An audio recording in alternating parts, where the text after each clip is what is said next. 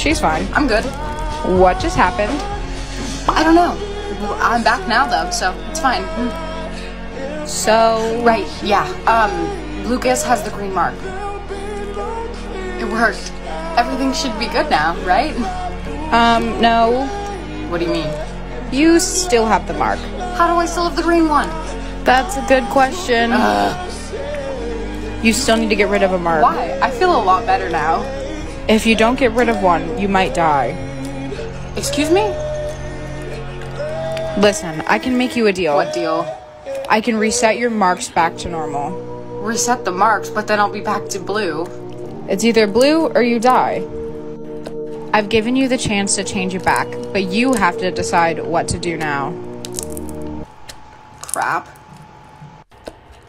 You have to make a decision, and quick. No! Why would you do that? Because I remember what Lucas told me. And what is that? That you guys are trying to control me. And guess what? He was right. We're not trying to control you. You're gonna die. I'm not gonna die. You guys were just concerned that I would have too much power and you didn't want me to. That's not true. I can't believe you didn't listen to us. Have fun. Right. You don't know what you just got yourself into, little girl. I'm never gonna give up the marks. I've worked for these and they're mine. Bailey, can I talk to you for a minute? Yeah. Sure, Lucas. I have something to tell you. Okay. Shoot. I know this is out of nowhere, but I'm in love with you. You're what? I just didn't know what to say because I didn't want to make it awkward between us, and you seem so happy with your marks, and I didn't want to end. I love you too. You do. Where did all of this come from? When they told us we'd be stuck together forever, I got a crush on you. You were excited to spend forever with me? Yeah, I wouldn't want to spend it with anyone else.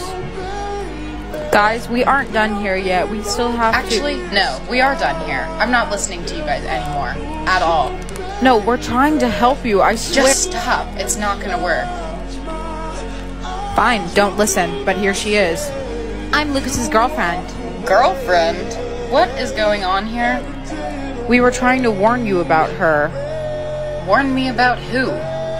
Me, you stupid bitch. Get away from my man. Lucas, who is she? She's not my girlfriend. She's my ex, but she's crazy. No, we're still together and we will be forever. Get away from him.